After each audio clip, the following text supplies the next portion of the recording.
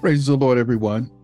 I'm Apostle James A. Maye, your new presider of the Church of our Lord Jesus Christ of the Apostolic Faith Incorporated. Thank you so very much for the confidence you put in me by voting me in to serve you for these next three years. I am excited about our upcoming uh, leadership seminar, which will be held at the Renaissance Baltimore Harborplace Hotel in downtown Baltimore, uh, April 11th through 12th, 2023.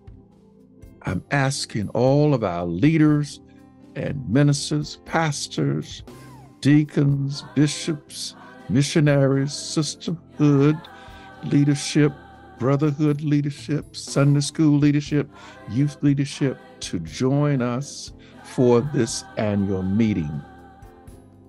It is going to be very, very important for our clergy to be present so that we can talk about how we organize for our upcoming election in July.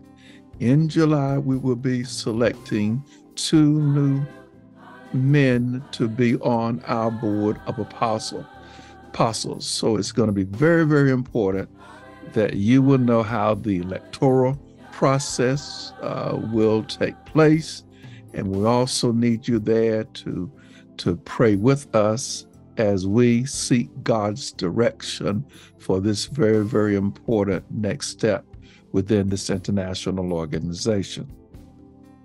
It's going to also be important for us uh, that we come together as a board, joint board, uh, to have our attorney to talk about the legal ramifications for the Respect for Marriage Act enacted by our U.S. Congress and signed by our President Joe Biden on December 13, 2022.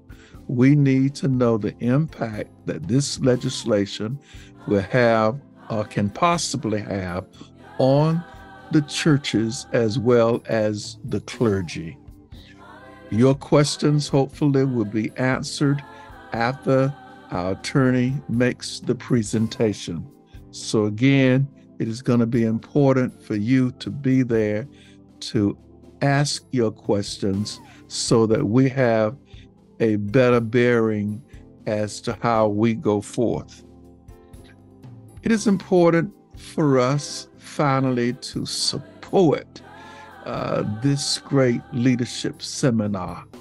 And so I'm asking all of you, my clergy, all of you, my sisters, all of you, my brothers, to please register now. Get your room because we need you. We need you right now, right now, to book your room for our meeting on April 11th and 12th, and then book your rooms for the International Congress. My hope is that you will register on the 11th and stay through the 15th in order to support both meetings.